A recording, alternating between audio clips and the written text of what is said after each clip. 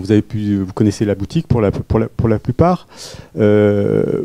Vous connaissez aussi sûrement euh, notre métier d'éditeur, éditeur DVD. Et euh, cette semaine, on met en avant un DVD qu'on a édité. Et voilà, très beau DVD, L'île au trésor, de, un film de Guillaume Braque. Euh, on avait déjà sévi il y a quelques années avec Un monde sans femmes. voilà, qui est, qui super film qu'il faut voir impérativement, que vous avez peut-être pour la plupart tous, tous, tous vu. Euh, ce soir, on va parler euh, de, l'île au trésor, du cinéma, de la cinéphilie de, Guillaume. Et euh, c'est une soirée qui, voilà, qu'on fait en partenariat avec la revue Réplique. On, s'était croisés lors de rencontres, on en avait parlé, on l'avait jamais vraiment fait. Bon là, voilà, c'était l'occasion. C'est un numéro qu'on a en avant-première, qui n'est pas encore dans les kiosques et qui met en avant, qui, il y a un super entretien avec Guillaume alors euh, à, le parcourir, on, un peu, on fait un peu la même chose aussi ici dans le, dans, le fil des entretiens, c'est-à-dire faire parler la personne sur ses, ses origines de, de, voilà, ce qui, est, ce qui a été, euh, ce qui a été moteur un peu dans sa vie, dans, dans voilà, dans son parcours, les films qu'il a vus, et donc c'est toujours un plaisir de, d'avoir euh, de, voilà, de feuilleter, de lire votre vue. On a, on a les précédents numéros là qui sont sur la table. Donc je, je vous présente Mathieu Champalone. alors les, les tu es euh, directeur de la rédaction. Non. je me suis trompé, j'avais une chance sur deux. Voilà. Euh, rédacteur, adjoint, voilà, je sais pas, on va pas se perdre dans les titres. Euh, de la revue Réplique, Nicolas Thévenin. Donc toi, tu es le directeur de la rédaction de, de, la revue. donc avant, voilà, donc tu as le micro. Et, Guillaume Braque, qui est voilà, que vous allez cuisiner. Et puis évidemment, on fera circuler le micro pour que tout le monde, euh, vous puissiez euh, poser, euh, poser des questions. Parce que j'imagine que si vous êtes là, c'est que vous avez aimé, vous avez aimé ces, ces films. Donc, Nicolas, peut-être quelques mots sur le dernier numéro, sur la revue réplique en général, deux numéros par an, c'est ça? C'est exactement ça, c'est exactement ça. Euh, ben, je voulais préalablement remercier, te remercier Manfred, remercier Potemkin plus largement de, nous accueillir. Bon, la parole est bien évidemment à Guillaume euh, prioritairement, mais je, voulais dire qu'on est vraiment ravis que cette, euh, cette rencontre soit organisée et que que, nous aussi on se rencontre, que, que Potemkin et Réplique se rencontrent, parce que c'est vrai qu'on discutait de l'hypothèse de construire quelque chose de cette nature depuis un petit moment. Il s'avère que les sommaires de nos numéros croise souvent euh, les, rencontres, le programme des rencontres que vous pouvez organiser. Et on a ce même désir, je dirais, de, de discuter avec les réalisateurs, de savoir euh, de quel bois ils se chauffent, qu'est-ce qui les anime, comment se font leurs films. On a une vraie curiosité cinéphile, me, semble-t-il. Alors je vous remercie énormément pour la belle mise en valeur que vous faites euh, de la revue. Nous existons depuis 2012. Le premier numéro est sorti en novembre 2012, très précisément. On en sort deux numéros par an chaque fois, c'est un gros travail.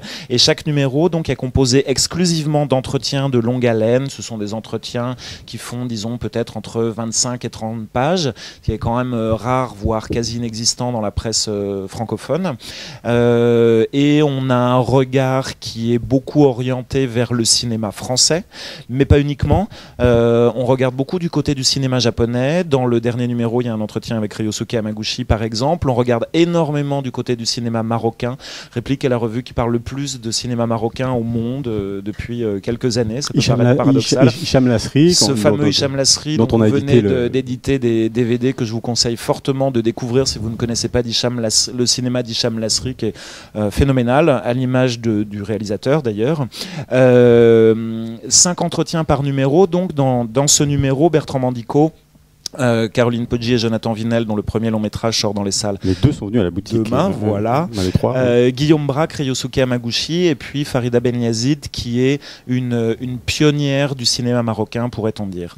Cette revue, vous pouvez la trouver euh, en librairie. Elle est basée à Nantes, mais elle est un peu éclatée à Paris, Casablanca, dans, dans, dans, plusieurs coins. Et, et, et voilà, avant qu'on se concentre sur ce qui va nous intéresser ce soir, je voulais vous adresser une nouvelle fois nos plus vifs remerciements parce que euh, en fait vous êtes, vous nous soutenez depuis le début et, euh, la boutique a été l'un des premiers lieux dès l'origine de la revue où on pouvait la trouver. Donc merci. Ah bah, écoute, on, prend, les remerciements. je, vous laisse, bah, voilà, Mathieu, peut-être présenter, bah, te présenter, mais présenter Guillaume. Allez, allez-y, lancez-vous. Oui, je pense que si vous, si vous êtes là, vous savez un minimum qui est Guillaume, si vous n'avez pas vu au moins un, voire l'ensemble de ses films, ce que, ce que j'espère. oui, peut-être, peut-être aussi. Vous avez vu de la, vous avez vu de la lumière, un peu de monde. Vous êtes tiens, qu'est-ce qui, qu'est-ce qui se passe Qui est C'est ça. Pour, peut-être te présenter très très brièvement, tu euh, as fait. Euh, alors, à la base, tu, n'as pas du tout un parcours euh, dans le cinéma, parce que tu as fait plutôt des études dans le, dans le commerce avant de te tourner. Voilà. Non, non, évidemment, c'est juste pour te situer. Avant de, avant d'aller en, avant de faire la FEMI, évidemment. Ensuite, tu as, tu as donc fait la FEMIS en, production. Donc, à la base, là non plus, tu n'étais pas destiné à réaliser des films, mais finalement, très très rapidement, tu t'es mis à, réaliser des films avec un projet de, de long métrage dès le début, puis finalement, qui ne s'est pas fait. Puis quelques cours et notamment le Un monde sans femmes au, début, au début de la décennie qui euh, t'a révélé, si on peut dire, euh, un moyen métrage euh, qui est presque un long puisqu'il fait 55 minutes si je ne me trompe pas. 50, ouais, 58, donc très clairement, on était euh, vraiment à la lisière du, long métrage. Euh, donc, un, ce, premier film très remarqué qui sera suivi et qui, aussi aura permis euh, la révélation d'un acteur qui aujourd'hui est un acteur majeur du cinéma français, qui est, Vincent Macaigne. Et puis ensuite, un long métrage, le premier Tonnerre, qui suivra très rapidement, deux ans plus tard. Et, et puis ensuite, un un, documentaire dont on, reparlera euh, durant la, rencontre puisqu'il se trouve également sur le DVD que, que édite Potemkin qui s'appelle Repos des Braves qui est sur qui un moyen métrage euh, d'un format assez assez étrange dans un moyen métrage documentaire mais qui, qui est presque à la lisière d'un geste un peu plus expérimental disons euh, qui suit un groupe de, de, cyclistes dans les Alpes. Et puis ensuite ces deux films qui sont sortis l'été dernier à la fois les contes de juillet qui sont en réalité un assemblage de deux courts métrage réalisé avec des élèves du, conservatoire.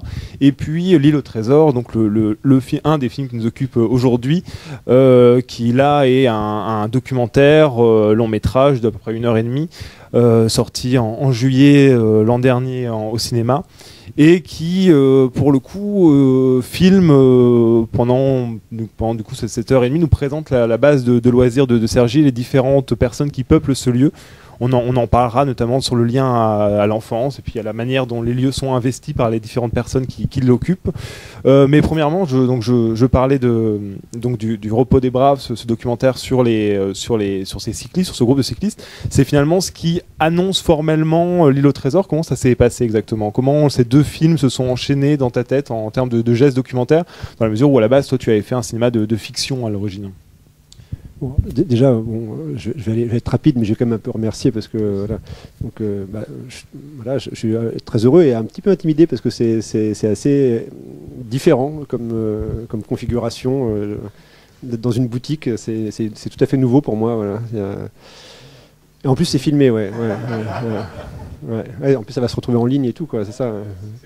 Faut faire attention à ce que tu dis. Ah ouais, non, non, c'est tout à fait différent. Euh, parce qu'en plus, quand on parle dans une salle de cinéma, euh, on parle à un public dont on sait qu'a priori il a vu le film. Enfin, là, euh, peut-être qu'il y a des gens qui sont là.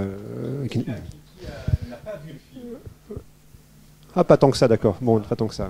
Qui a vu plus, plus que ce film-là. Ah, ouais, ah, ça fait quand même un bon, ratio. Alors déjà, ça, ça, me, ça, me, réconforte un peu. Voilà. Je me sens moins intimidé. Non, mais en tout cas, voilà. Non, et puis après, je ne veux pas du tout faire de, de, réclame, mais je dois dire que je suis très, très heureux de, bah, du travail qui a été fait sur ce DVD. Enfin, avec Potemkin, euh, j'étais déjà très, très heureux du DVD qu'on avait fait il y a quelques années sur Un monde sans femmes. Et là, je dois dire que c'est agréable. Je sais que j'avais pas eu cette chance-là euh, au moment du, DVD de Tonnerre, de pouvoir vraiment euh, voilà, euh, et, enfin, faire un DVD en collaboration avec euh, l'éditeur. Et là, on a, on a pu mettre trois films, on a fait des, des suppléments voilà, que je trouve très intéressants. Et puis, et puis même, je trouve c'est un bel objet graphiquement. Quoi, voilà. Donc, je sais que Tonnerre, j'avais été très triste que ce soit un, simple coffret en plastique. Et, et là, voilà, c'est un beau coffret en carton, c'est un, un, objet. Quoi, Bref. Avec beaucoup de films à la fois en plus. Avec beaucoup de films à la fois. Non, non, mais c'était voilà. Non, mais c'est important parce que ouais, enfin c'est. Moi, moi je, suis encore un peu attaché quand même aux objets, et, aux DVD et tout ça. Ouais, voilà. et puis et puis évidemment aussi, euh, merci pour ce long entretien, euh, très long. C'est la première fois qu'on me, me donnait rendez-vous deux fois dans un café, euh, en novembre, deux, fois deux heures ou trois heures. Enfin, c'était très très long, quoi. Mais, mais du coup, ça, ça... ça tu l'as quand même bien vécu. Et, je me souviens que tu m'avais abordé en me disant, en fait, tu m'avais appelé en me disant, oui, nous, on fait les entretiens les, plus longs, les plus longs du marché, quoi. généralement, c'est 30 pages, quoi. Oui, c'est ça. c'est ça, j'avais l'impression que c'était un peu. Parce que généralement, les entretiens qu'on fait, bon, bah, c'est un peu coupé et tout. Là, c'est la version longue. Quoi. Oui. non, mais ça dit, je l'ai relu, euh, je l'ai relu, je pense que ça, se lit bien. Quoi. Ça va. J'espère, vous, nous, vous nous direz. On, va, faire, on, va, faire, la version courte aujourd'hui. Euh, ah ouais, bref. Bon, la bande-annonce un petit peu. Donc, donc non, mais sur ta question. Euh, Sur le rapport au documentaire, euh, en fait, je pense que on, pourrait même remonter un petit peu avant euh, le repos des braves, parce que c'est vrai que c'est quelque chose qui euh, qui était déjà finalement assez présent dans mes premières, dans mes premiers pas de fiction, quoi. C'est-à-dire dès mon court métrage Le Naufragé, dans Un monde sans femme, dans Tonnerre, il y avait à chaque fois des, sortes de petites fragments de réel. Ouais, des fragments de réel comme ça qui, qui traversaient la fiction et avec des, des non-professionnels qui souvent euh, jouaient leur propre, leur propre vie, quoi, et qui, qui, étaient confrontés aux acteurs. Et, et, et je sais que c'était des, des, moments qui, à chaque fois, étaient très importants pour moi, qui me, enfin, qui m'exaltaient particulièrement, qui étaient souvent des aussi très difficile à, tourner, enfin, mais, euh, mais qui du coup engageait humainement quelque chose euh, de, différent et, d'assez fort. Euh, et, à plusieurs reprises, je m'étais dit, mais j'aime tellement ces moments-là au tournage que un jour quand même, il faudra que je fasse, que j'essaye de faire un documentaire, même si moi je, venais vraiment de, de, la fiction et, même d'ailleurs, je dirais même. Je, je, venais de, de l'écriture en fait, parce que je pense qu'il y a des réalisateurs qui tout de suite euh, viennent des images, euh, du visuel. Moi, je, viens de l'écrit, c'est-à-dire, enfin, j'ai fait des, films parce que à, des moments, j'avais, j'avais envie de raconter euh, des choses, des, histoires, des sentiments, etc. et j'ai, commencé à écrire comme ça des, bribes de scénarios, puis des scénarios, avant même presque de, filmer une seule image, quoi. Enfin, voilà. Donc, à l'inverse, il y, a des réalisateurs qui qui filment, qui filment et qui un jour sont confrontés au fait d'écrire, quoi. Mais voilà. Mais donc, du coup, le documentaire, c'était, c'était évidemment euh, un peu, euh, d'une façon, à l'opposé et à la fois, euh, pour des raisons peut-être un peu psychanalytiques, enfin, qui seraient probablement un peu longues à développer ici.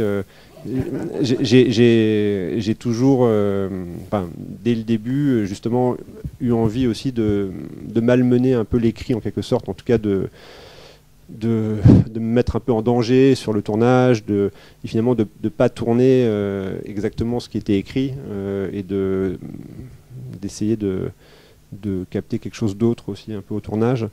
Euh, ouais, bon, c'est une longue digression pour arriver à ta question au repos des braves, mais bon, il y a quand même un petit rapport.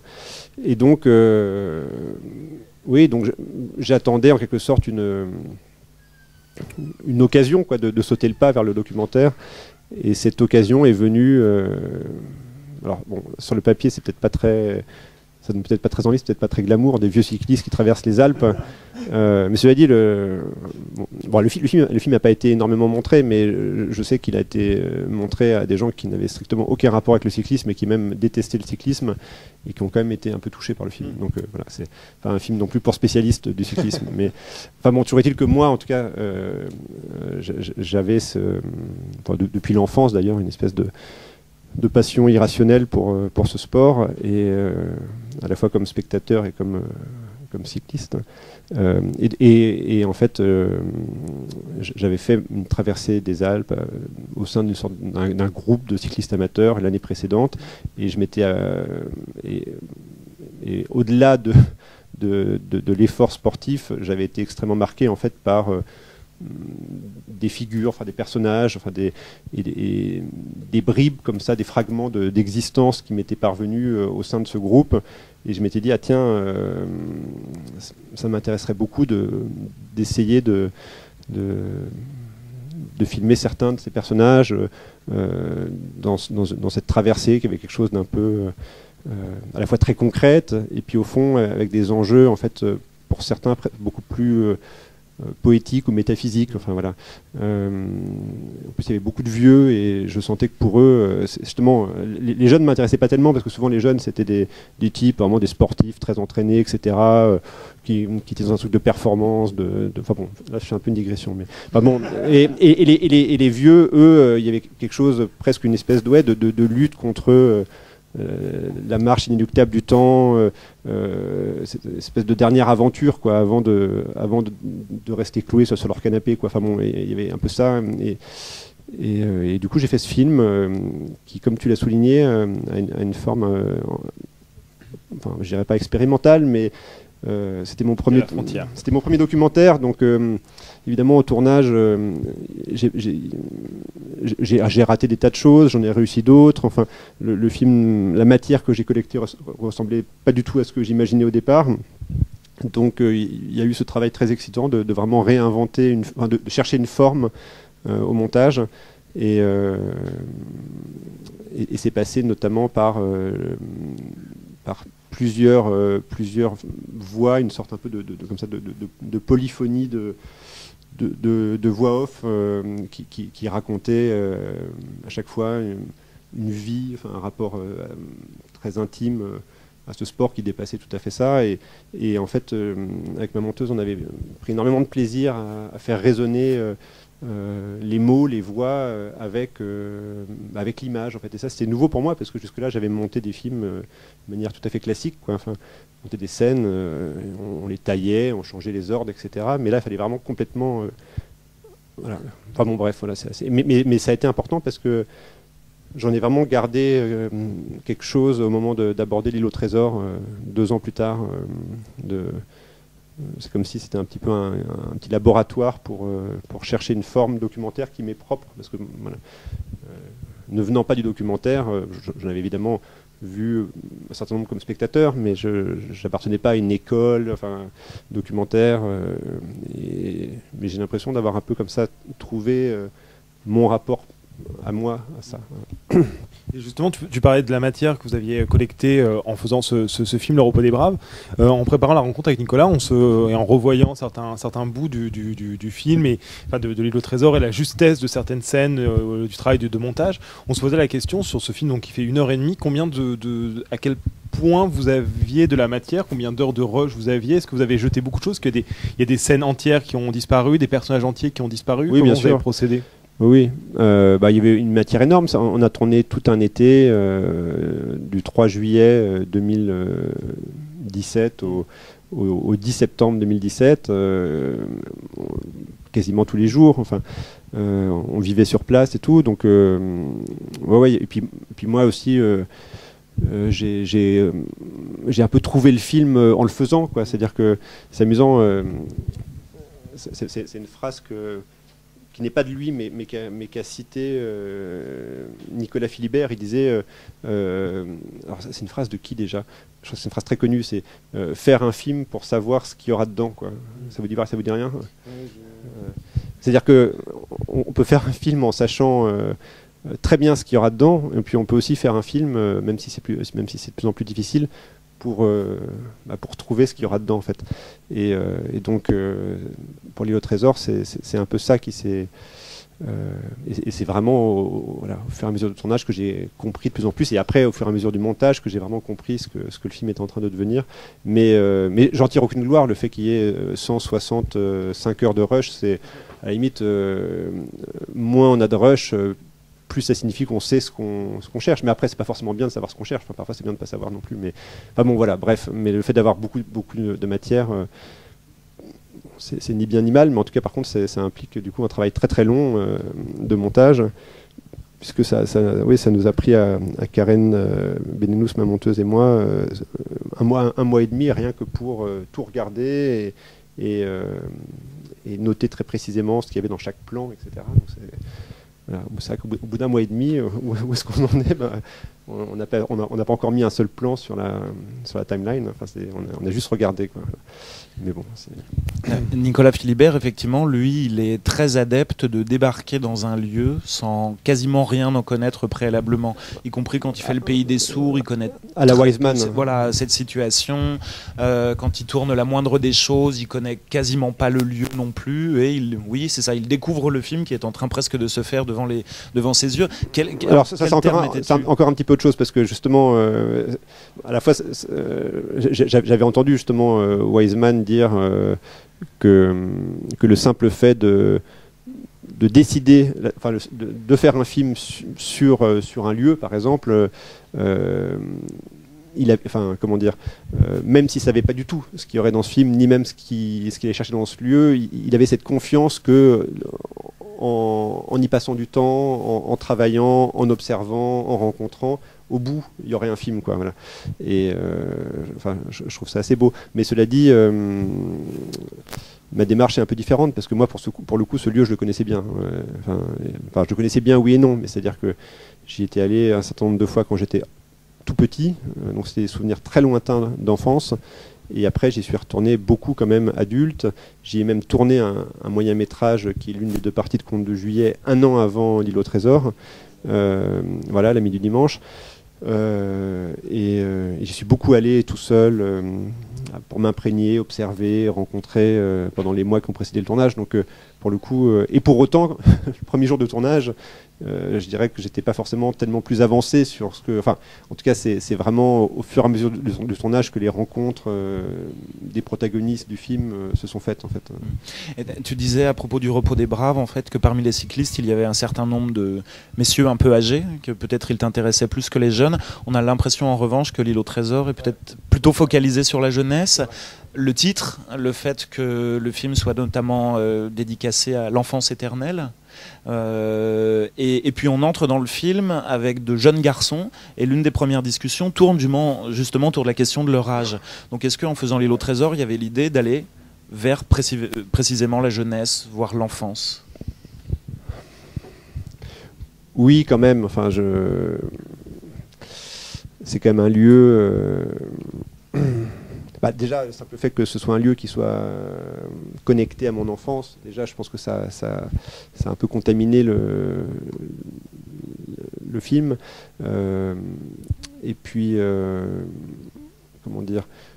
Oui, bah, c'est vraiment une espèce de, de, grand terrain de jeu et d'aventure. Donc, il y, a, il y a quand même un certain nombre d'adultes hein, dans, dans, le film, mais, mais les adultes en tout cas ceux qu'on a gardés au montage, euh, ont tous, euh, d'une façon ou d'une autre, euh, un lien particulier à l'enfance et à la jeunesse, en tout cas, que ce soit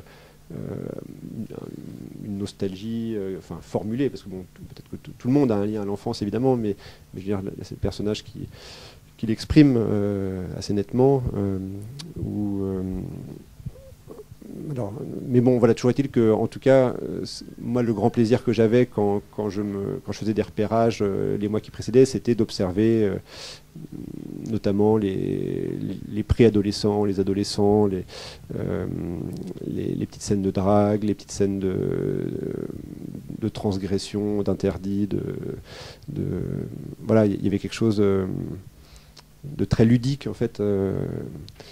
et Ouais. Et, en fait, assez vite, euh, il y a quelque chose qui s'est mis en place parce que, à la fois pour rentrer dans ce lieu, euh, j'ai dû évidemment passer par la direction, euh, contacter donc le, directeur avec qui je me suis bien entendu, qui, à qui j'ai offert d'ailleurs le, DVD d'un monde sans femme, le premier rendez-vous. Le film lui a plu, du coup il m'a fait confiance.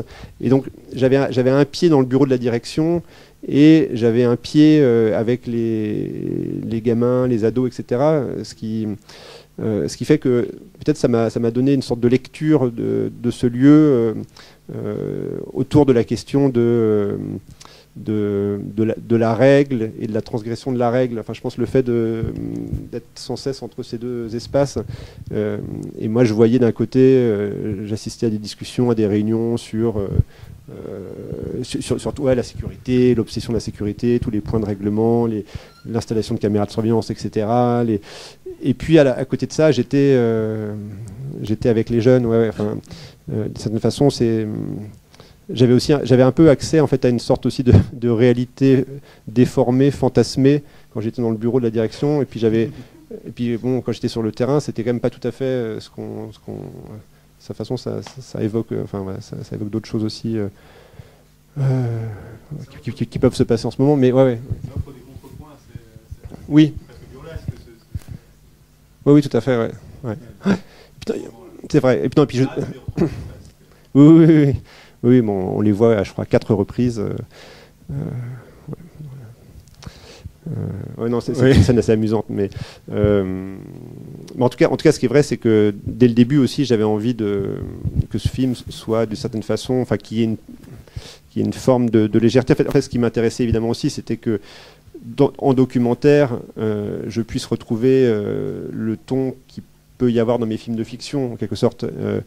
enfin, et, et, quelque chose d'un petit peu euh, d'un peu rieur, enfin d'un peu, euh, en tout cas d'un peu souriant, enfin d'un peu une forme de légèreté, de, euh, et ça, c'était quand même beaucoup du côté des, aussi des, jeunes, quoi.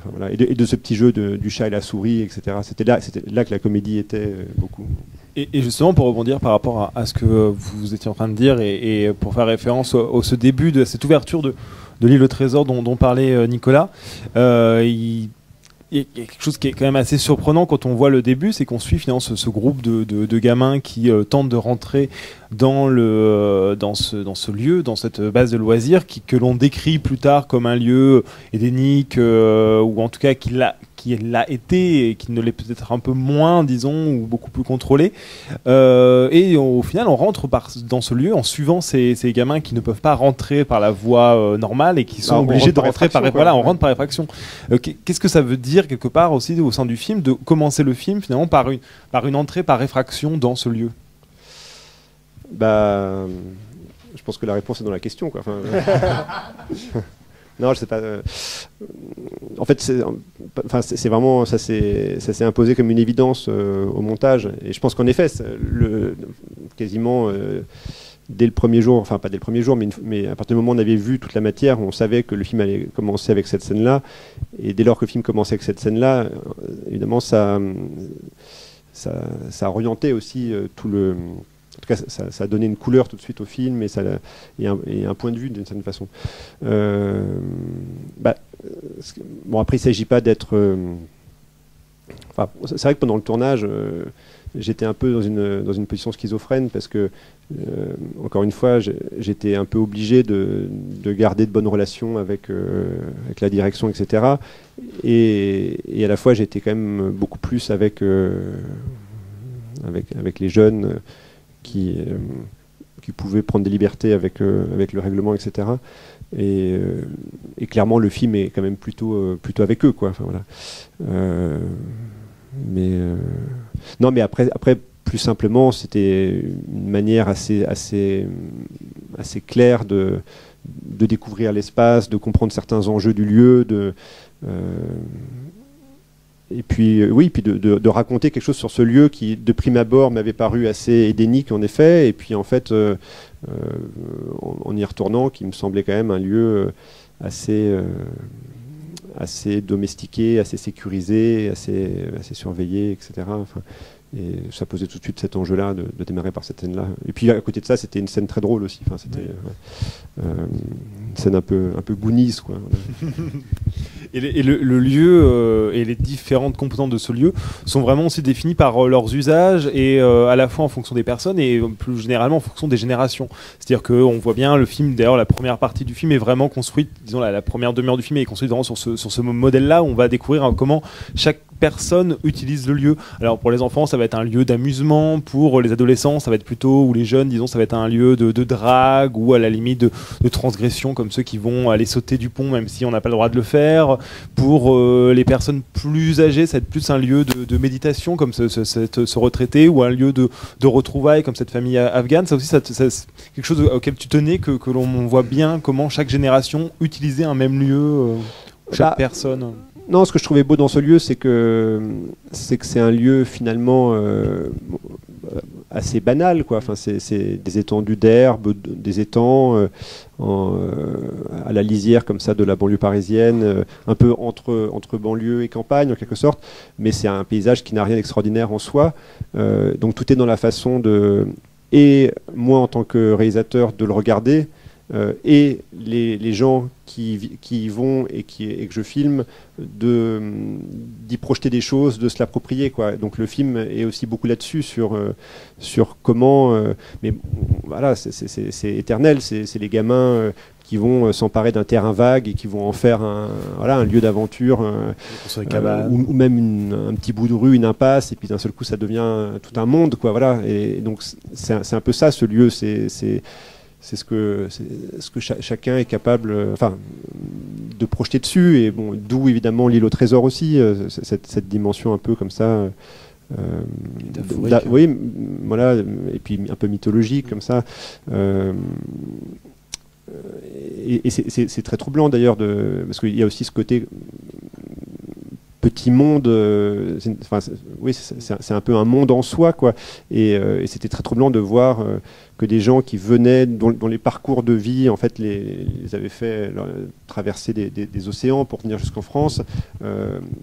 finalement projetaient sur ce lieu des souvenirs de, leur pays d'origine. quoi. Voilà, c'est formulé par, les Afghans, mais ça a été formulé par beaucoup d'autres gens, même si c'est pas dans, dans le montage, mais même ce, cet homme qui se baigne avec des cygnes, euh, il est russe, et lui, euh, il me disait, ça me rappelle les, les lacs de, de Russie quand je viens ici.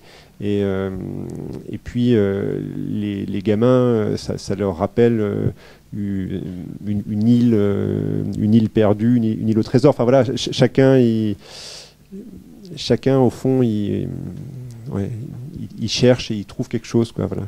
Et le film parle beaucoup de ça. Ouais. C'est une manière finalement aussi pour toi de d'évoquer des choses qui dépassent largement ce lieu, avec sûr. euh, justement des, de parler du monde Ah ouais, à travers ouais. ces personnages-là. Ah ouais, mais moi justement, euh, c'était très clair que je voulais surtout pas faire un film. C'est pour ça qu'à un moment donné, mon producteur me disait pendant le montage, euh, il trouvait qu'Île au trésor, c'était peut-être un peu trop, euh, trop, trop bizarre comme titre. Il disait, tu pourrais appeler ça Vacances à Sergi ou Un été à Sergi. je disais, waouh, non, non, surtout pas quoi. C'est c'est vraiment pas du tout un film euh, sur. euh, Enfin, Non, D'autant plus qu'en fait, on sait jamais vraiment où ça se trouve finalement quelque part. Il y a une sorte de Oui, mystère un peu qui. Bah, est, oui, euh, oui. Enfin, euh, euh, bon, j'ai beaucoup d'amitié pour lui, mais l'anecdote est réelle. mais euh, euh, comment dire oui, oui. euh, en fait, d'ailleurs, moi, ce qui me réjouit beaucoup, c'est quand je vais présenter le film euh, dans un, dans un petit village, enfin dans une petite ville euh, de province, et que à des, à des gens qui ne sont peut-être jamais allés en banlieue parisienne de leur vie, et le, et le film les, les replonge dans, dans des souvenirs d'enfance ou de jeunesse, au bord d'un étang près de chez eux, au bord d'une rivière, au bord d'un lac, je ne sais quoi, ou même à la piscine, la piscine d'à côté. Euh, en tout cas, mon, ambition en faisant ce film était de toucher à quelque chose d'un peu universel et, surtout pas de rester enfermé dans, euh, dans ce lieu ou, dans une, ou même dans une, dans une réalité. euh, enfin, je voulais pas enfermer le film sociologiquement non plus. euh, C'est-à-dire qu'en fait, c'est incarné dans ces, dans ces corps-là, dans ces visages-là. et ça, pour moi, c'était très important. Je trouvais ça. Parce qu'en plus, c'est des. C'est notamment ces, ces- ces jeunes de banlieue sont, souvent montrés d'une manière tout à fait différente, enfin, et, dans des situations tout à fait différentes. Donc pour moi, ça, avait un vrai sens de faire ça. Et pour autant, euh, justement, pour moi, ça devient des véhicules euh, un peu, enfin, de- de- d'émotions, de, sentiments universels. Enfin, c'est finalement euh, trouver ce qui bah, ce qu'il y a d'absolument commun entre, entre chacun en fait. Ju- et justement aussi dans, le, dans, le, dans le film par rapport à, ce que tu dis, il y a des, il y a des sortes de, de, de micro-récits qui viennent, euh, qui viennent vraiment euh, parcourir le film, qui, qui, qui, qui donnent d'ailleurs au film sa, sa, sa, sa forme aussi assez, assez étonnante quelque part, parce que c'est voilà, un ensemble de, de, de petits récits. Et justement, je parlais tout à l'heure de, de, ce, de ce- cette, cette personne à la retraite qui à un moment euh, dans le film raconte euh, des, des vacances en Croatie où il s'est retrouvé à être abordé par, euh, par deux, euh, deux jeunes femmes. C'est un récit qui est quand même assez, assez étonnant et, euh, et qui n'a pas forcément grand chose à voir à la base avec. T'as- avec, t'as- avec- T'as re- t'as retenu ça comme par hasard, toi.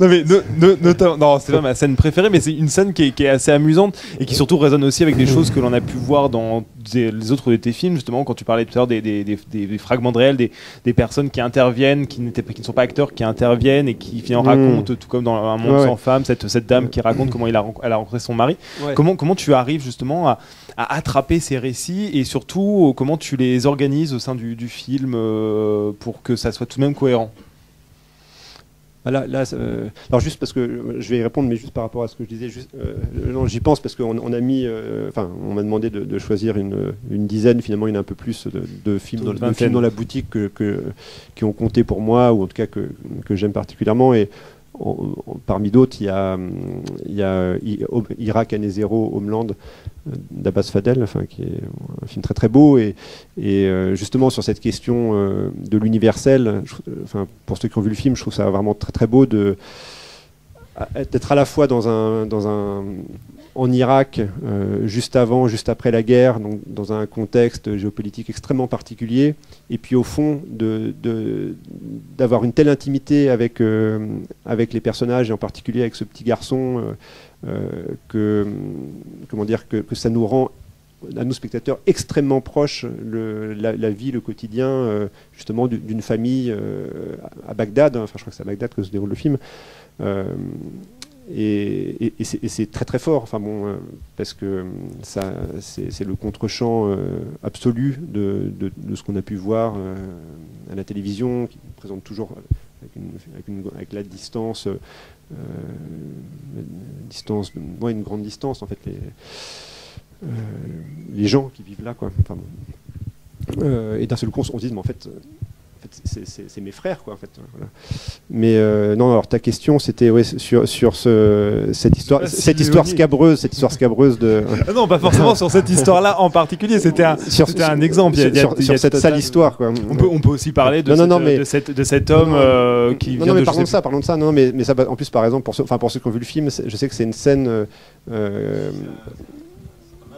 oui, oui, oui, bien sûr. En fait, en fait c'est d'ailleurs une scène pour laquelle je me suis beaucoup battu, euh, pour, pour, pour- qu'elle reste dans le montage. J'a- J'avais vraiment la, conviction qu'elle avait sa place dans le film, euh, même si sur le papier c'était pas évident, parce que c'est une des seules euh, scènes où, un personnage s'adresse vraiment face caméra, ce qui n'est pas du tout la forme du film. C'est aussi finalement quelqu'un qui, raconte une histoire. finalement, le, film raconte plutôt les vacances, l'été passé là, et, et là c'est quelqu'un qui, qui raconte des vacances en Croatie. Ouais. Donc, enfin bon. Pour, et, et par ailleurs, l'histoire est assez malaisante. À Un la- truc, un, à- truc à un peu à lire. la, comme Eustache avec une seule Oui, histoire. Il y a un truc. euh, ouais, tout à fait. Et, et en fait, euh, euh, comment dire je, pense qu'à un moment donné, euh, on s'est rendu compte avec ma monteuse que cette histoire n'était pas si déconnectée que ça, euh, et qu'en fait elle se reliait euh, justement sur la question de peut-être de. Bon, alors évidemment, il y, a- cette espèce de de, nostalgie de la jeunesse parce que on, sent que c'est que c'est pas anodin. Enfin, cet homme de 72 ans qui est là et qui et, qui se désigne lui-même comme euh, je pourrais être son grand-père euh, en parlant de cette jeune fille de 20 ans, etc. Et, hum, enfin, et puis même avant, avant ou d'ailleurs dans le film c'est après, mais euh, il, il parle de quand il était professeur et qu'il emmenait ses gamins, enfin ses, ses- ses élèves là se baigner, etc. Ouais. C'est, quelqu'un qui a vraiment une, une- une certaine nostalgie de, de, de ce- de cette jeunesse euh, qui est de plus en plus loin de lui. Euh, mais, mais aussi c'est la question de la limite justement euh, qui s'incarne avec ce personnage-là, moi je trouve. C'est euh, la limite entre ce qu'on a le droit de faire, ce qu'on n'a pas le droit de faire. Sauf que là, ça se pose sur une question morale, enfin sur, un, sur le plan moral, mais euh, sur ce qu'on sur ce qu'on accepte comme étant euh, euh, drôle, savoureux, ou ce qu'on se met à, juger comme étant euh, compliqué, choquant, perturbant. Et en fait, à plein de niveaux, enfin, je pense que le film, c'est ce qu'on a un peu construit au montage, parle de cette question de la limite, de la frontière, de, passer de l'autre côté, de, respecter ou non la règle, etc. Donc voilà, donc en fait, en fait ce, euh, récit, euh, finalement, c'est a trouvé sa place dans, le montage. Je suis heureux. En, tout cas, je, sais qu'en salle, c'est souvent le moment où, où, les rires sont les plus forts. Hein. Ce qui est d'ailleurs, ce qui pour moi est une vraie victoire d'ailleurs, hein, parce que c'est évidemment, euh, j'avais un peu peur, notamment de la, réaction peut-être des spectatrices, par exemple, face à cette histoire. Et, en fait, euh, ça, se passe plutôt euh, bien de ce côté-là. enfin, j'ai pas, pas eu de plainte. Oui, peut-être le temps de montrer l'extrait, si c'est possible, tout de suite. Non. Alors il faut poser des questions. Peut-être juste pour rebondir par rapport à, cette question de, récit en dehors de, cette, de ce retraité. mais, après, si, quasiment tout le monde a vu le film, est-ce qu'il faut montrer un extrait non? Euh, Je ne sais pas. Est-ce que vous voulez voir un extrait? Oui. Ça permettra de se remettre un peu dans, le bain, c'est le moins qu'on puisse dire quand on, verra l'extrait. Le, oui.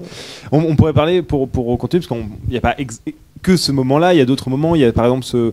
Alors je sais plus de quelle nationalité il est exactement, le meilleur de nuit. Euh, guinéen. voilà, guinéen qui raconte euh, là aussi une histoire quand même qui. Alors là, on le voit pas, on, entend uniquement sa voix et on, le suit en, voiture, mais c'est assez, assez, assez hallucinant comme, comme histoire par exemple. Enfin, il y a quand même une succession d'histoires dans, dans, Non mais alors juste, en fait, j'ai pas répondu à la question qui était euh, comment on attrape ça. Bah lui, par exemple, c'était un jour où il faisait un peu gris. Enfin, je parle pas du, du, veilleur de nuit, là, je parle du, du, monsieur qui raconte ses vacances. Euh, voilà, c'était un jour où il faisait un petit peu gris, un peu couvert, donc euh, pas le jour où il raconte, mais le jour où, il est là tout seul sur sa petite plage et, qui nous parle de ses souvenirs, de quand il était professeur, etc. Et au fond, il, bah, il était un peu triste parce que il, y avait, normalement il y a quelques habitués sur cette petite plage et, et, là, il était vraiment absolument seul. Et donc quand il nous a vu débarquer, il était très content. Bah, là, c'est un peu dur de parler en même temps parce que je sens que, plus personne n'écoute, tout le monde regarde. Euh. Ah ouais. Euh, en fait, voilà, tout simplement, euh, il, s'ennuyait, ce, monsieur, et quand on est arrivé euh, avec, la caméra et, et le micro, il était tout à fait euh, intrigué et en fait content que ça vienne un peu rompre la monotonie euh, et la mélancolie d'un après-midi d'août euh, solitaire. Quoi. Et, donc tout de suite, il a, il a, raconté des tas de choses, mais, mais pas ça, parce que ça lui était pas encore arrivé, ça, lui arrivait plus tard dans l'été. Et c'est lui qui m'a appelé pour me dire Tiens, Guillaume, je crois que j'ai une bonne histoire, qui, une bonne histoire qui m'est arrivée. À mon avis, figuré dans le film, absolument. Euh, et donc, euh, c'est vraiment à la fin de l'été qu'on a filmé cette scène. Et c'était, par ailleurs, euh, tout le monde ne sait pas raconter une histoire. Et, lui, vraiment, il la raconte bien son histoire parce qu'en plus, c'est, il y a une coupe à un moment donné, mais sinon, c'est vraiment un plan séquence. Et le rythme est parfait, quoi. Enfin, c'est assez, assez troublant, ça, de voir qu'il y, a des gens qui ont des histoires passionnantes, mais qui n'ont pas peut-être une certaine forme de, bagou, de, enfin, D'ailleurs, c'est un ancien, c'est un ancien prof, c'est peut-être pas pour rien quelque part aussi. Hein. Ouais, et euh,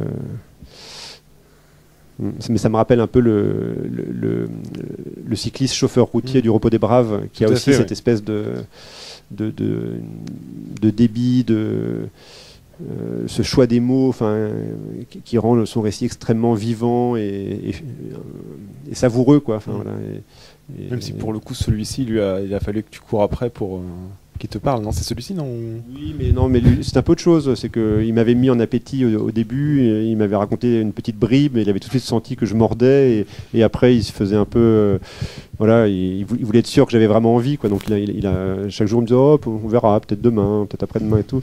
Puis il a, attendu l'avant-dernier jour ou le dernier jour pour euh, me raconter vraiment l'histoire. Alors, on va regarder l'extrait, je pense est-ce qu'on le contextualise avant? Enfin, est-ce que tu veux dire à quel moment du film cela se situe précisément, ou plutôt après, comme tu préfères? Oh bah, euh, en fait, à la limite, euh, oui. Alors en fait, euh, bah si, il faut quand même le dire, c'est c'est Jérémy, le, loueur de pédalo. L'Adonis des pédalos. L'Adonis des pédalos. Le sosie de Neil Schneider. peu qui plus qui a un, beau, un beau personnage, euh, quelqu'un qui, qui alors lui aussi euh, a, beaucoup apporté au film et qui avait vraiment, euh, enfin, qui était en quelque sorte notre, notre allié, notre complice et qui, et qui a compris en plus d'une manière assez belle ce que le film pouvait représenter pour lui, d'ailleurs quels que soient les, risques qu'il pouvait encourir après, parce qu'évidemment il, il, fait des tas de choses, il raconte des tas de choses totalement interdites et, euh, qui pouvait lui attirer les foudres de la direction, mais euh, il, m'a dit un jour, euh, moi ce film, j'ai l'impression que ce sera une trace de ma, de ma jeunesse que je pourrais dans beaucoup d'années montrer à mes enfants et mes petits-enfants. Voilà. Et, là, je me suis dit, bon, il a, il a pile poil compris même ce que peut être le cinéma aussi, qui est tout simplement de, capter comme ça, de, de, garder quelque chose dans le cours du temps, quoi. Euh, et, et, du coup, j'étais particulièrement. Parce qu'au début, quand je l'avais rencontré, je le trouvais un peu. Euh, bah, je le trouvais très branleur, etc. C'était a priori pas forcément. Euh, une espèce de, grand blond physique de surfeur avec des pectoraux pas possibles que, que j'imaginais filmer dans ce lieu-là donc au, début, je, bon, je, le filmais un peu, mais je ne savais pas trop. Et puis, euh, et puis à un moment donné, j'ai compris que qu'il était beaucoup beaucoup plus intéressant que que ce que son physique pouvait laisser euh, imaginer au départ. Quoi. Alors, un, petit peu, un petit peu plus tôt dans la journée, deux filles sont venues euh, faire du pédalo. Ah pardon, oui, j'étais censé contextualiser. Elles sont très aimantées par lui, c'est tout à fait visible. Lui le comprend très bien et il leur donne rendez-vous un petit peu plus tard dans la journée. Voilà, c'est très simple. C'est ce moment qu'on va voir.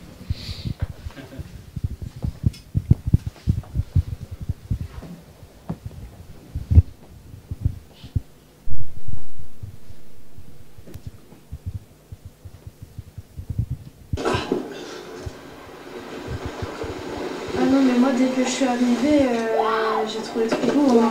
on l'a remarqué direct. Ils se font un petit peu trop attendre quand même. Je peux pas lui envoyer un message en fait Normalement, c'est les filles qui font attendre. Hmm.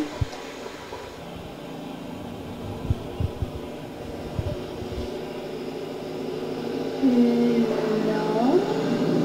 Mais non. Déception.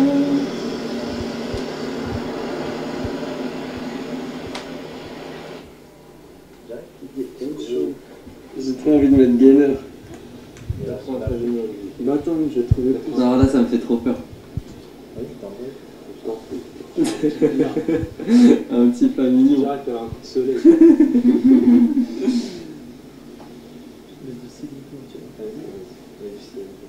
non, non, non. Ça dépend si je me sens bien, tu vois. En fait, j'arrive pas à l'envoyer, je ne mets pas assez de puissance pour l'envoyer. Je sais pas ce qui manque. On est vendeuse chez Zara. Sérieux Ouais. C'est ça Bah, on est. Ah ouais Moi j'ai travaillé chez H&M. C'est énervé. Hein.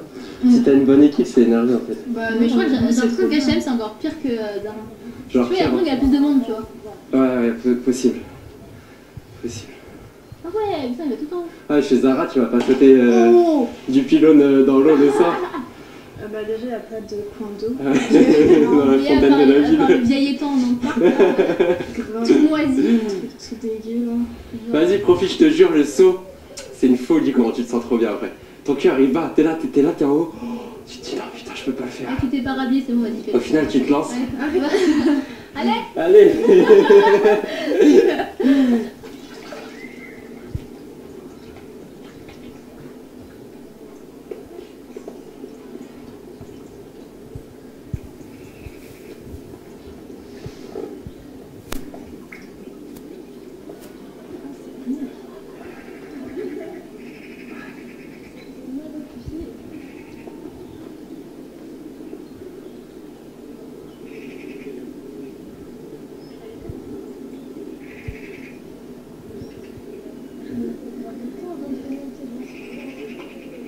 Bah, dès que t'arrives dans l'eau, tu sais, dès que t'arrives, genre dès que t'arrives sous l'eau, tu déploies tes bras.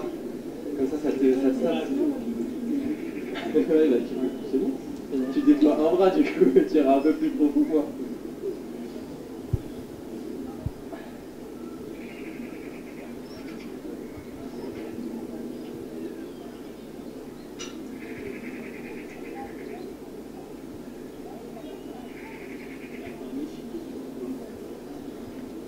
T'as déjà sauté ou pas T'as jamais sauté De ta vie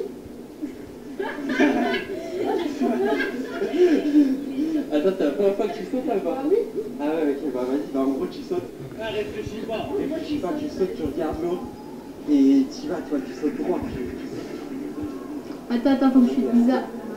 Attends, attends, attends, il faut que je filme Lisa. Euh, J'ai trop peur. Hein. Vas-y, tu peux le faire.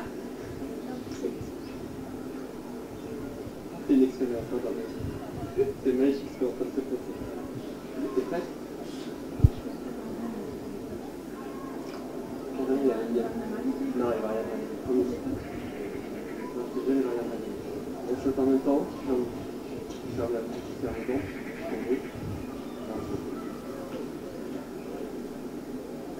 En plus, il faut que tu fasses confiance à ce qu'il faut que tu fasses. Prête Allez. 1, 2, 3.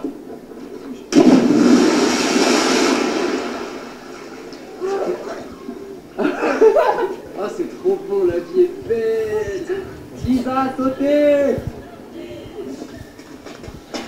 Voilà Tu m'écrases Laisse-moi mettre la flèche en gauche au cas où. Oh, il est Ça va, on est calmé là. Aïe Non, c'est bon, je me suis poussée, je pensais que c'était dur. La vie est belle. On est bien. Ah, mec, je kiffe ces journées comme ça là. Ah, cheveux bouclés. C'est pas parce qu'ils sont mouillés qu'ils vont boucler. Hein. J'ai monté le basque, je vais prendre. Ah, t'as les Ouais, c'est sûr. Ah, tu les as lissés là Faut pas. Non, je mets hâte, t'es fou. Je pas Ah. Non, la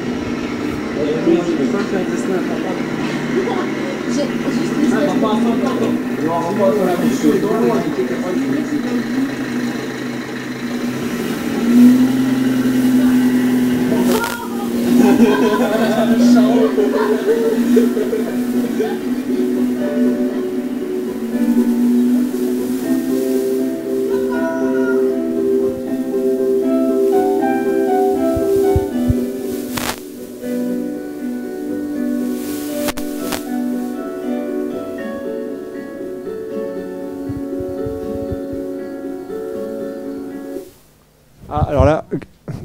grave erreur d'avoir arrêté là. Alors on a, on a justement on a hésité Non, mais que grave erreur parce que justement tout est dans le raccord justement.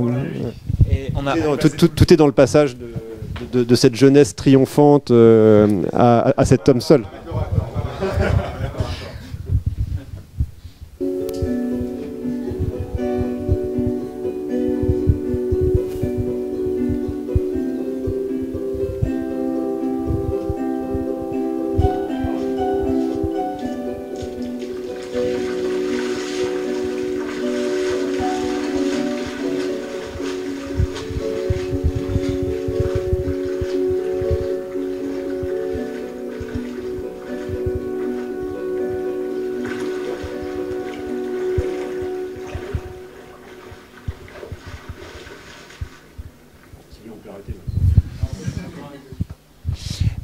Oui, non, mais à culpa, nous, extra culpa, en fait, on savait très bien qu'on se ferait ou, euh, en, coupant à ce moment-là. Il y avait une, la question du morceau, en fait, voilà, qui, arrive. Euh, on, a choisi cet extrait pour, euh, je dirais, pour deux raisons en particulier. La première, c'est que ça fait quand même très directement écho à, à Conte de Juillet. À l'ami du dimanche, ces histoires de séduction, euh, de, de deux filles qui sont présentes, d'un garçon, etc. Et puis la deuxième question que ça soulève, à mon sens, c'est une question qui est plus relative à la fabrication. Euh, où êtes-vous Euh, comment, comment est constituée l'équipe déjà sur le film et sur cette scène en particulier? Et puis après, il y a un tas de questions que l'on se pose qui sont vraiment d'ordre technique, mais comment vous attrapez le son à ce moment-là? Parce qu'une fois qu'ils ont plongé, ils sont encore parfaitement audibles.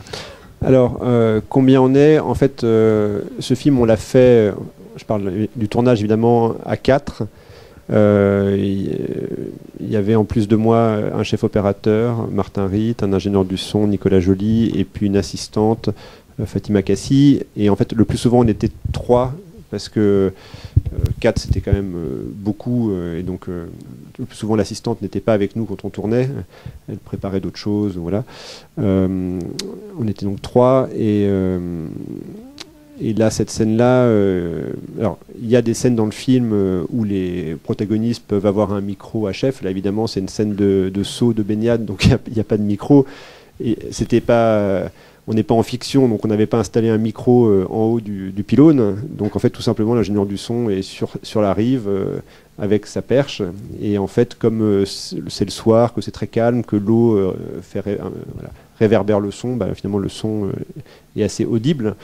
mais voilà, enfin, sur le plan technique, c'est ça. et après, sur le plan plus de, de comment cette scène s'est mise en place. Euh, euh, en fait, euh, oui, alors ce qui est troublant, c'est vrai que ça fait beaucoup écho à une, scène de fiction d'encontre de, de Juliette, pourtant tournée un an avant. mais c'est pas c'est pas si un hasard que ça. C'est-à-dire qu'en fait, cette scène de, de drague avec deux copines vendeuses euh, qui, euh, qui rencontre un employé, etc. En fait, je l'avais pas inventé. Euh, c'était un employé qui m'avait un peu raconté justement que le soir, parfois, il, bah, le bon plan quand il, proposait à des, à, des, à des, jeunes femmes de rester un peu plus longtemps après la fermeture, etc. Donc, en fait, la, fiction, de toute manière, était déjà nourrie par la réalité. Donc, en fait, après, je suis, simplement retombé sur la, sur la, réalité pendant le documentaire. Et, et en fait, évidemment, euh, euh, a fait ça euh, pour le film autant que pour lui, c'est-à-dire qu'il avait envie que dans le film il y ait enfin autant que pour lui et, pour, et, autant que pour, pour ces jeunes femmes-là. Enfin, il voulait que dans le film, euh, il y ait ce, saut du pylône qui est un peu sa spéciale, quoi, enfin, qui est un peu son.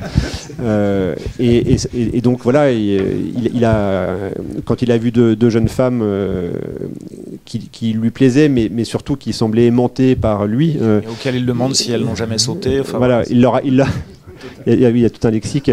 Il leur a proposé de rester le soir. Et après, en fait, nous, alors, bon, il y, a ce moment qu'on voit au début où en fait euh, on attend avec elle, en fait on est, on est, avec, on est avec elle en train d'attendre ce, cet Adonis qui ne vient jamais, enfin qui se fait vraiment désirer. Quoi. ça vraiment, je me suis rendu compte euh, de, l'inégalité dans, dans, une sorte de drague, parce que lui peut arriver une heure en retard, elles sont encore là. Quoi.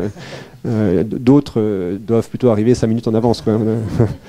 ouais, non, non, elles étaient assez patientes. Euh, et donc voilà, on était. Et puis en fait, après, euh, ce, qui est assez troublant, c'est que.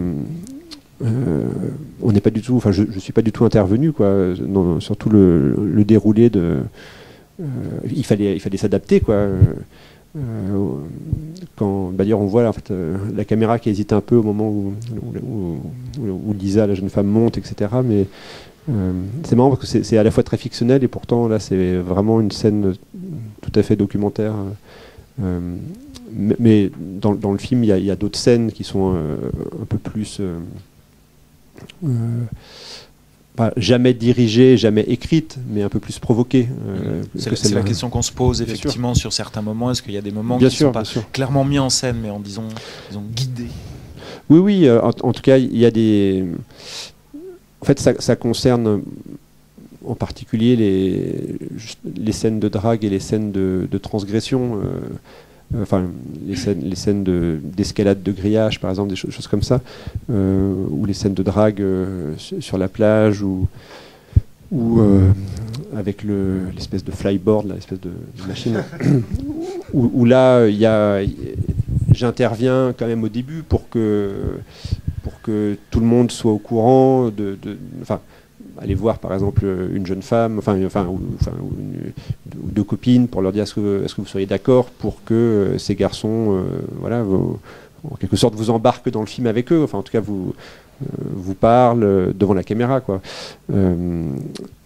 Quant aux scènes de, transgression, là, ça va un peu plus loin, parce qu'en fait, c'est des scènes qui étaient, pour ainsi dire, impossibles à filmer en captation pure. Quoi. Euh, parce que le simple fait d'être là avec une perche et, un, et, une caméra, à moins de se cacher dans le buisson, euh, euh, faisait, aurait fait repérer immédiatement les, jeunes fraudeurs. Donc, donc ça, c'est des scènes qui, doivent être justement plus mises en scène. et moi, il se trouve que que c'est des situations que j'avais beaucoup observées, euh, que je trouvais assez, savoureuses à chaque fois, euh, pleines de, de, surprises, de, euh, en amont du tournage. Et donc en fait, il suffisait de demander soit à deux gamins qui avaient l'habitude de le faire, soit à deux gamins qui ne l'avaient jamais fait, mais qui observaient les grands le faire, de d'escalader de, devant la caméra, quoi. Puis après, c'est ça, qui était assez troublant, c'est qu'en fait à la fois euh, ça les amène un peu à jouer un rôle euh, et à la fois leur manière de jouer un rôle en fait est très touchante euh, enfin moi je trouve et, assez et assez drôle en fait et, révèle en fait quelque chose d'assez vrai sur sur eux sur sur la préadolescence sur les, rapports etc entre copains etc donc en fait c'est comme si le faux provoquer du vrai et peut-être un vrai en fait plus intéressant que enfin bon voilà donc euh, mais ça c'est quelque chose euh, euh, que j'assume pleinement, mais que j'ai mis un peu de temps pendant le tournage à m'autoriser. C'est-à-dire qu'au début, je, encore une fois, étant un peu novice en documentaire, je ne savais pas très bien ce qu'on avait le droit de faire et pas le droit de faire. Quoi, en fait. Donc j'étais plutôt à, à, être là assez peut-être un peu trop passif en fait et, euh, c'est beaucoup euh, mon producteur le même qui, qui a eu cette mauvaise idée de titre qui plutôt a eu, la bonne idée de de me dire non mais vraiment euh, enfin sens-toi très libre tu peux très bien provoquer une situation ce qui compte c'est qu'après la situation soit juste soit vraie ne trahisse personne, enfin, ne trahissent pas ce que les gens sont, etc. Mais, mais tu vas pas attendre que les choses arrivent. Enfin, les choses, elles arrivent rarement toutes seules, quoi. Enfin, ou sinon, tu es, dans un truc de, de, caméra de surveillance. Enfin, c'est pas du tout ça, quoi. Donc, euh, donc une fois que j'ai que j'avais intégré ça, euh, le tournage était est devenu beaucoup plus ludique et puis ça, ça, ça permettait aussi des, des, contacts euh, plus, plus agréables et aussi plus honnête avec les gens, c'est-à-dire ne pas chercher à, attraper quelque chose malgré eux, mais leur dire euh, et si euh, et si vous me montriez comment vous faites quand nanana et, et là voilà du coup donner quelque chose au film quoi. Peut-être qu'on peut vous passer la parole si vous avez des remarques, des questions, commentaires. Euh, mais en fait, est-ce qu'il n'y a pas quelque chose qui est en train de s'inventer dans le sens d'un espèce de côté où on se. J'en sais rien, hein, mais euh, ce côté documentaire dans le sens où on prend des personnages pour ce qu'ils sont et on leur demande de, jouer. Je dis pas que c'est que, ce que, tu, que ce que tu as fait, mais euh, ça en fait partie. Et que du coup, est-ce qu'il n'y aurait pas des, des films comme ça qui pourraient en fait on prend des personnages et on leur fait euh, rejouer presque leur vie, ou des moments ou des fragments de leur vie, etc. Mais ça, c'est Nanook l'Eskimo, enfin, ça existe depuis toujours. Ça existe depuis un siècle, non? Mais, par contre, c'est vrai que, c'est une tendance peut-être du cinéma euh, contemporain, mais. Euh, mais tu veux dire dans justement. Dans le sens où on crée de la fiction aussi. Ah oui, on crée de la fiction, enfin, on leur demande pas de, ah rejouer leur, rôle, juste et puis et puis euh, montrer leur, Oui, mais à ce moment-là, c'est Sherazade, par exemple, enfin, euh, enfin, ou plein d'autres films, ou les, ou les films de Dumont, enfin, ou, plein de, non? Euh. Enfin, disons que là, je réfléchis en même temps parce que ça concerne pas vraiment, enfin, c'est pas vraiment. Euh... De, de, ce que tu viens de, de dire, en fait. Oui. C'est juste, c'est juste ça. Mais peut-être euh, du monde, tu penses à quoi? Au démon de Jésus euh, Pas au démon de Jésus, pardon. À la vie de Jésus. la vie de Jésus. Euh, bah, non, mais je pense à, finalement à, tous les à tous les réalisateurs qui, qui, prennent des interprètes non professionnels et qui et qui les, utilisent à la fois pour, pour ce qu'ils sont, enfin qui, qui, sont, qui sont dans un récit de fiction en, en, trimballant toutes, enfin, des, des, pans entiers de leur vie et voilà. Euh, alors peut-être juste pour, pour, pour, finir, en fait pas pour le, pas pour l'incarnation de, l'incarnation euh, juste, mais euh, aussi de où on va on va les entraîner. Il y a peut-être une histoire et qu'on va leur demander surtout d'amener ce qu'ils sont, etc. à l'intérieur, mais mais presque de rejouer des choses qu'ils ont déjà vécues et qu'ils ont ils ont et que presque le scénario est, est, là dans, cette histoire là. Mais oui oui. Ouais. Alors, moi, en ce qui concerne ce film, je dois quand même préciser que, ça, ça, euh, ça, ça n'est qu'une partie du film et, même pas d'ailleurs la majorité du film. C'est-à-dire qu'il y a- aussi beaucoup de situations qui sont vraiment des situations totalement prises sur le vif. Il y a, il y a- quelque chose d'assez hybride en fait dans, dans les différentes approches documentaires qu'il y a dans l'île au trésor. Euh, donc c'est une question là plus euh, qui s'adresse peut-être à à ma cinéphilie, mais euh, je Non, mais pour prolonger un, peu cette question-là, parce que le, le, le diptyque qu'offre le livre au trésor et les contes du juillet, Oui, oui, par rapport à ça, parce que dans Contes du juillet, tu prends des, Ah ouais. des apprentis comédiens, mais des comédiens quand même, ouais. et tu vas aller puiser Ouais, dans ouais, leur sûr. vécu, dans leur vie, C'est vrai. les... C'est vrai, vrai. Bah, Parle-nous de ça, de cet aller-retour. C'est vrai. euh, c'est vrai que Conte de Juillet est, est une fiction euh, assez documentaire, hein. Voilà, mais final. euh, Joué par des, par des mais, jeunes mais gens joué, qui mais, prétendent... mais joué par des, enfin, Voilà. prétendent, enfin, c'est- même s'ils sont encore étudiants, comédiens, quoi. ils sont comédiens, Ils sont ouais. comédiens, ouais. Euh, et pour autant, je, je joue en effet avec, euh, avec ce qui, ce qui sont, Ce qui ce qu'ils m'ont raconté dans les entretiens documentaires que j'ai fait avec eux en amont. Et, euh, et le, et le récit est né un peu de ce que de ce qu'ils m'ont raconté de leur vie, de, de leur rapport, etc. Et euh, qu'est-ce qu'il y a? Tout comme en fait c'était le cas avec Vincent Macaigne quand tu as fait Exactement. C'est- femme. C'est c'est là où finalement, pour moi, il n'y a pas une, une rupture fondamentale. C'est qu'en fait, euh, depuis le début, enfin depuis le début, euh, c'est-à-dire depuis oui, le naufragé, il y a, exactement dix ans, mon premier court métrage, enfin mon premier vrai court métrage, j'avais vraiment écrit ce, film pour les deux, pour les deux acteurs principaux, euh, Vincent Macaigne et Julien Lucas, et c'était deux amis très proches. Je savais beaucoup de choses de leur vie.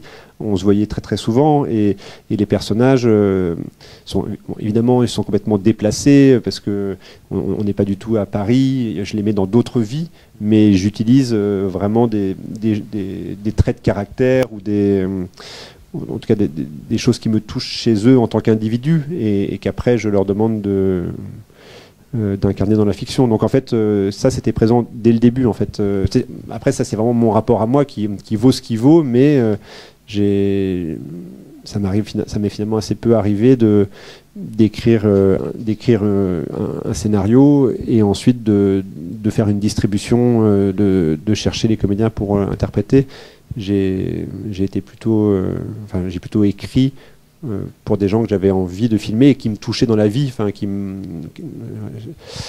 euh, donc il y avait déjà fait dès le départ une démarche un peu documentaire en fait ouais. mais euh, en fait finalement depuis le début c'est le, documentaire qui m'intéresse en fait C'est ce que tu dis quelque part dans l'entretien qu'on a fait, euh, que je vous invite à lire si vous euh, en avez encore envie après ça, cette rencontre. c'est ça, c'est que la- la- la- le, le risque c'est qu'ils en aient ras le bol et qu'ils aient pas envie d'en entendre plus C'est le risque, mais si, euh, si votre fin n'est pas tout à fait euh, satisfait, vous pouvez retrouver la version longue euh, dans Réplique. Et puis par, par écrit c'est plus clair aussi hein. Euh, oui, non. J'aime bien qu'on ait un petit peu de temps aussi, euh, de manière un peu plus informelle. Il y a un petit pot qui est organisé. Il y a la dédicace pour les personnes qui veulent acheter le DVD et, et le réplique aussi. Euh, Le réplique se dédicace. Euh, je t'ai fait choisir, Gui- Guillaume, je- euh, juste avant que tu viennes, une dizaine de DVD. Tu en as choisi donc une vingtaine. Et euh, j'en ai juste pris. Donc, t'as fait un choix dans mon choix J'ai fait un choix dans le choix, voilà. Alors, quelques mots, on va dire dix mots sur le. Sur, euh, oui, non, mais c'est pour ça, je te taquine. Euh, euh, Il Posto, de Olmi. Ce film, comment tu l'as rencontré? Qu'est-ce que tu, qu'est-ce qui t'évoque? Pourquoi il est important pour toi? Ah, non, ça pour le coup, c'est un film que j'ai vu lorsqu'il est ressorti en salle il y a, je crois, deux ans, deux trois ans, et que j'ai trouvé, ouais, j'ai trouvé vraiment sublime. euh, je crois, qu'il y a à peu près tout ce que j'aime en fait euh, dans ce film-là, c'est-à-dire, euh, c'est un film qui à la fois est, ancré, euh, est vraiment ancré. dans une réalité sociale, c'est en, quelques mots, c'est un, tout jeune homme alors, je ne sais pas s'ils habitent dans les, faubourgs de, Turin ou de, enfin, de Milan, voilà, dans les faubourgs de Milan, et qui, et, qui passe un examen, une sorte de, concours de recrutement pour rentrer dans une grande euh, entreprise italienne, pour devenir un, employé de bureau, quoi. Il n'a aucune formation ni rien. Et en fait, le, jour de, de cet entretien, enfin de cette euh, espèce de, journée d'examen, de test, etc., il, rencontre une, euh, une jeune femme Euh, ils ont à peu près le même âge. Et, euh, et en fait, euh, bon, après, je, pas, pas que je spoil le film, mais euh, comment dire euh, Ouais, ouais, je sais, mais bon, moi, je, je sais, je sais pas faire synthétique. En fait, en fait le, film est vraiment, est vraiment très émouvant sur euh, cette espèce de- d'innocence, de, de, de- de candeur de la jeunesse qui en fait va être progressivement broyée par euh, cette espèce de, machine euh, inhumaine qui, qui est cette, très grande, entreprise. Et le film est très libre en plus parce qu'il se permet de, euh, des, digressions, il se permet de, on, s'intéresse le temps d'une scène ou deux à, des employés beaucoup plus âgés dont on se dit que des employés qui souvent sont, très abîmés par la vie, par le travail, etc. Et dont on se dit que euh, ce sera ce jeune homme qui pour l'instant a 16 ans et 17 ans et qui euh, voilà et, euh, et, et- et- voilà et puis cette histoire d'amour embryonnaire qui, qui va aussi elle, être un peu broyée par cette cette, cette voilà bon bref. Documentaire. Voilà. Et, ce mélange aussi entre des, des choses extrêmement gracieuses et légères et drôles et une réalité euh, sociale et politique beaucoup plus euh, noire quoi voilà donc il y a vraiment euh, et ça vaut d'ailleurs aussi pour la Coupe à 10 francs qui est, qui, est- qui est là. C'est bah, c'est Olmi, le réalisateur des fiancés aussi, qui est magnifique. Euh, Ouais, alors moi j'aime beaucoup moins les fiancés. Ah, Pour, euh, je, je trouve les fiancés très beaucoup plus formels et Bah, oui, voilà, dans la forme, j'ai- beaucoup de mal en fait fait. très- ouais, ouais. D'accord. Mais Moi, c'est ce que j'aime. mais- Ouais. c'est ton. Moi j'aime beaucoup la simplicité de Il Posto. La coupe à 10 francs. Ça c'est un sacré film. Ouais. Euh, je pense que si je l'aime autant, c'est que quand j'étais, euh, là je vais, faire un, je vais un peu me répandre, quand j'étais enfant, préadolescent et même encore un petit peu adolescent, ma mère euh, demandait m'emmenait toujours chez le coiffeur en disant au coiffeur de, de, de- de me faire une coupe bien nette, bien nette derrière les oreilles et bien court. Euh, et après à l'école, et après l'école, on me disait que j'étais tondu comme un chien. Enfin, voilà. et, euh, et ce qui fait que dès que j'étais en âge de choisir ma coiffure, j'ai laissé pousser mes cheveux. mais- et, euh, et en fait, ce film-là part, ça se passe les, dans les années 70 dans une fabrique. Euh, une, menuiserie industrielle. Euh, et en fait euh, du jour au lendemain le, petit patron de cette entreprise décrète que ces jeunes employés qui pour la plupart ont les cheveux longs n'auront plus le droit d'avoir les cheveux longs évidemment pour des raisons politiques idéologiques même si lui prétend que c'est pour des raisons de sécurité ce qui est évidemment un mensonge et le film raconte la, résistance euh, de ces jeunes pour euh, garder leurs cheveux longs. Et, euh, ce qui au début est très, léger, très trivial, le film démarre un peu comme une comédie. Progressivement, ça devient une vraie lutte et, une lutte de plus en plus tragique en fait. Et évidemment, on, voit ceux qui cèdent, ceux qui résistent, et, qu'en fait, derrière cette histoire très triviale de cheveux, il y a quelque chose de beaucoup plus euh, fondamental, enfin, qui a, qui a trait à leur identité, en fait, et cette identité qui leur est niée, quoi. Enfin, voilà. Et le film, euh, ouais, c'est un film un film sublime, très méconnu euh, d'un réalisateur qui en fait a une œuvre assez restreinte. Et c'est, euh, ce qui est triste, c'est que quand, un réalisateur fait beaucoup de films, euh, eh ben, on se souvient de lui quand il fait juste quelques films, même si c'est un réalisateur qui fait un chef-d'œuvre, malheureusement, bon, sauf si c'est La Nuit du Chasseur, mais sinon, euh, sinon souvent on l'oublie. Quoi. Enfin, bon. Et heureusement, ce film est ressorti, euh, c'est un très très beau film. Les visiteurs, pour finir, les visiteurs de Kazan. Elia Kazan. Ouais, bah, je sais pas, je- beaucoup de gens le connaissent ce film peut-être, non Ou, Enfin, Oui, mais, c'est peut-être pas le plus connu des Kazan. euh, euh, ouais, j'ai vraiment une période Kazan, euh, euh, notamment pendant, ouais, ça mes études de- à la FEMIS. Euh, bah, ce film-là est très particulier dans, dans son œuvre parce que c'est c'est un film qui arrive vraiment. je me demande si c'est pas son dernier film d'ailleurs, ou peut-être son avant-dernier film, en tout cas. Ouais, ouais. Euh, un moment où il y avait des, diffi- des difficultés pour tourner, euh, euh, et en fait, il revient euh, sur, sur cet épisode douloureux et, et peu glorieux de, de- de sa Ah vie oui. euh, lié au macartisme. macartisme et au fait qu'il avait, enfin, je connais pas très bien l'histoire, mais qu'il avait, je crois, dénoncé Des réalisateurs. des réalisateurs, exactement. Et en fait, euh, il le transpose euh, dans un film en fait fait dans une économie très très réduite parce que je crois qu'il tourne euh, dans sa dans sa maison avec en fait quatre acteurs. Il y a c'est le, premier rôle de James, le premier film de James Woods. Il y a une comédienne, je ne sais plus qui. Il y, a, il y a le beau-père qui est une espèce de ça pourrait être un électeur de Trump, enfin un, type assez viriliste, etc.,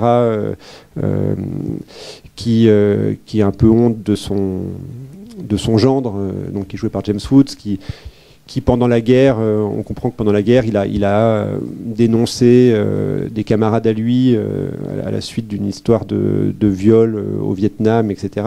Et ces deux camarades débarquent, débarquent, voilà. dans- dans- donc c'est en fait c'est- presque un huis clos, mais un huis clos avec des scènes en extérieur, l'hiver, dans, dans la neige, autour de la maison, etc. Et euh, ouais, c'est un film euh, assez fascinant parce que euh, progressivement, enfin, tout, se brouille progressivement dans. le film n'est pas du tout manichéen. Il y a vraiment une réflexion sur, sur ce que c'est qu'être un homme, parce qu'il y a justement James Woods a, pas cette espèce de de, virilité, de, de, connivence euh, masculine euh, que peuvent avoir par exemple les- ces deux anciens. euh, enfin bon, bref, voilà. Bon, Non, non, Pas bon, mais non, ça- mais mais ça ça, filme leur, très ça leur fort, a tortu- ça le- ça lui aura pourri sa carrière, ça leur a torturé jusqu'à la fin de sa, ouais, ouais. sa filmographie, Ouais, cette histoire-là du. Et, bah, c'est, alors Et- que c'est et- un immense réalisateur, et on, sent, on sent bien que c'est, quelque chose qui leur a plombé ouais. absolument. Et, et c'est aussi, aussi un film sur le couple très beau, enfin sur sur un, un homme qui, qui se sent euh, à la hauteur, enfin, qui en tout cas euh, euh, face, à son épouse, euh, dès lors qu'il est en présence de, ces deux camarades de l'armée qui eux ont une espèce d'aisance, de virilité, etc. Enfin quelque chose et qui l'humilie devant elle. Et bon, le film est très très douloureux quoi. Et, et à la fois, ce qui est beau, c'est que c'est un film. Alors, moi, je pense que si je l'avais beaucoup aimé aussi. Ah, Ça, c'est le signe qu'il faut s'arrêter de parler, mais euh, c'est qu'en fait, euh, à l'époque, j'avais pas encore fait de film, et c'est un film tourné en 16 mm avec une équipe très très réduite, avec euh, cinq acteurs euh, dans un lieu quasi unique. Et c'est vrai que c'est le genre de film quand on est un, un aspirant réalisateur, on se dit ah bah tiens, on peut faire beaucoup avec peu, quoi. Voilà. Euh, et, euh, et voilà, c'est le genre de film qui, qui donne envie de faire des films, quoi. Parce que c'est pas c'est pas inhibant, quoi. Enfin, enfin, si si c'est inhibant parce que c'est brillant, mais mais en tout cas en termes de De moyens. de moyens, ça, ça- c'est tangible, quoi. Voilà. On va s'arrêter là. Merci beaucoup, Guillaume. Merci, Nicolas. Et merci, Mathieu.